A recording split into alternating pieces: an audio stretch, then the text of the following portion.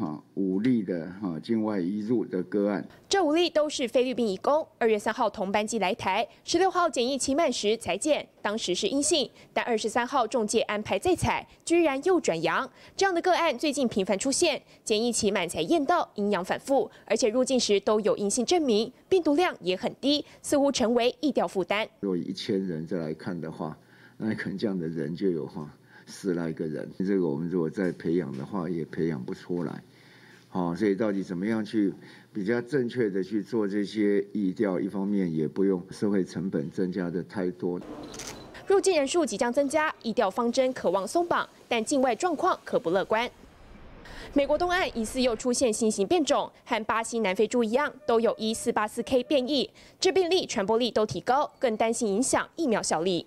虽然说抗体的例价会稍微下降。不过还是在保护浓度之上，可能比较长远的一个担忧是说，会不会打过这个疫苗之后的保护力会减退的比较快？各国疫苗已经开始着手改变配方，希望在这场赛跑中成功赢过新冠病毒。戴秀随陈科新志台北报道。